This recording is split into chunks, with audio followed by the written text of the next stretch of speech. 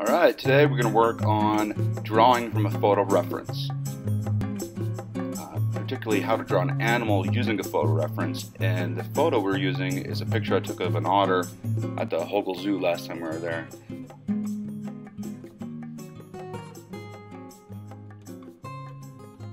So to start, what you want to do is start the head shape, which will be in a circle.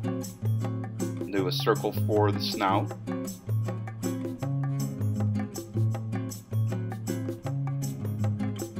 An oval for the nose. And then we're going to put the action line in, which is the line following the contour of the back. So what I'm doing here is trying to get that um, action line right. Start adding the leg in.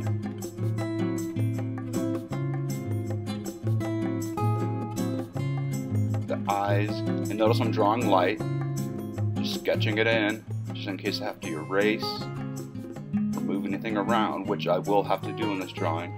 Um, you'll see that I end up having to extend the back. If you look at that photo, uh, my initial line is a little too uh, sharp, curves down a little too quick, which I'll fix when in the shading process. So right now what I'm doing is just going through indicating where the dark areas are, where the light areas are, the major light changes within the fur. Okay, and as I'm working, I'm looking at that photo and mimicking the direction of fur and light on the animal.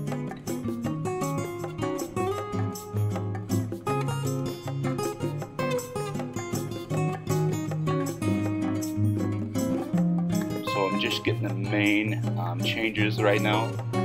Not really worried of the minute things right now, just the main value changes that I see um, with the dark and light.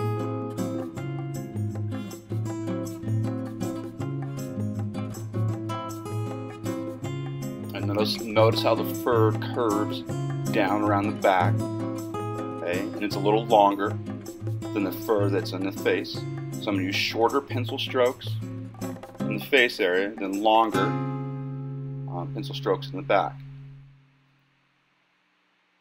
Um, the fur is wet, so I need to make sure I clump it as I draw it in, which is ends up being a bunch of long triangles basically. Um, you can kind of see how I'm doing that in the neck right there. And again, the fur on the face is shorter pencil strokes. As they go down around the back, I'm using longer pencil strokes in the back. So now I'm going to work on um, adding some value in the background because we have that silver lining effect where the light's hitting the fur. So it's important that that back value is dark enough that we can get that lighting effect. Um, this is an old blending stump I had sitting next to me. It's been used quite a bit as you can see there. Um, if you don't have a blending stump, you can use a tissue, you use your finger, which I use all the time. You'll see me use my finger in this video. Um, I'm still using a mechanical pencil at this point. Um, when I ended up finishing this um, drawing, I switched over to my ebony pencil, which I'll show you a picture of at the end of the video here. The mechanical pencil is great. I love sketching with a mechanical pencil, but when you try to get big areas dark, uh, the ebony pencil is a lot easier. So you can see me see right here, I'm using my finger to soften the graphite. And I'm coming back into the fur, just trying to get those changes of light to dark. And then still work on the form of the otter here.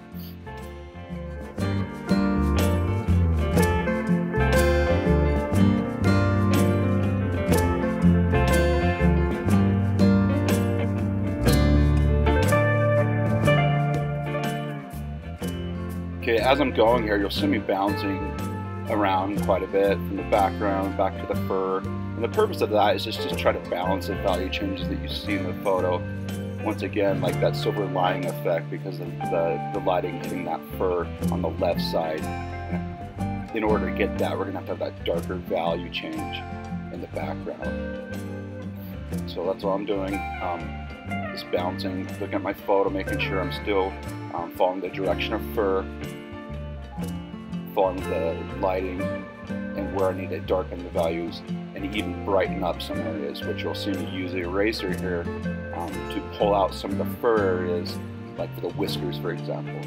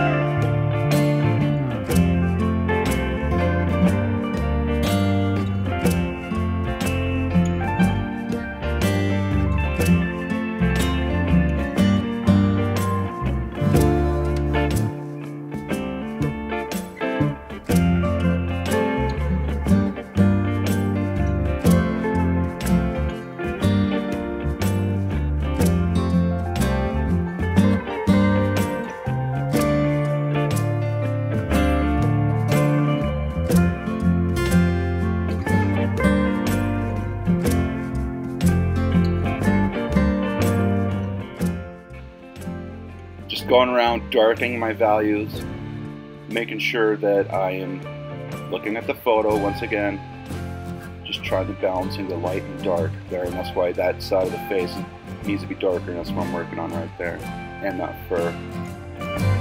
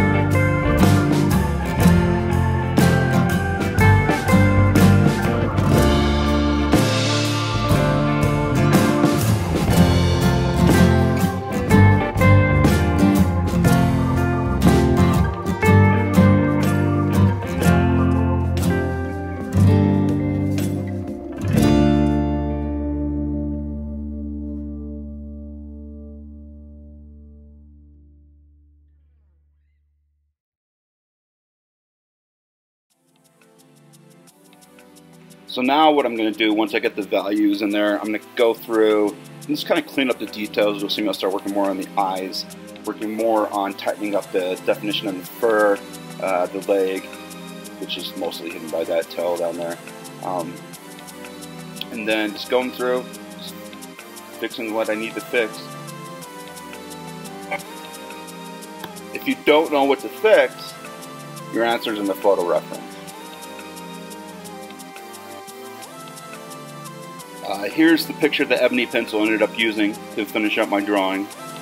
And as you can see, I kind of changed up the background, made it into more of a mountain scene. Fun. Use your imagination with how you want to finish it up. Thanks for watching, guys.